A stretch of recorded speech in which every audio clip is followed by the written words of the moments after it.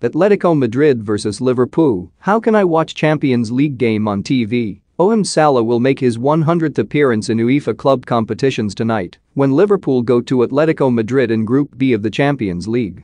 And given his incredible form, it would be no surprise if he marked the century with yet another goal.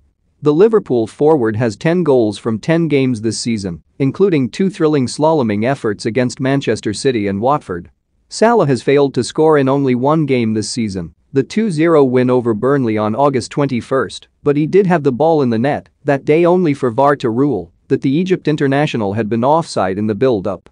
The 29-year-old has scored 40 goals in his 99 European games, although drew a blank when the sides met in the last 16 in the 2019-20 season.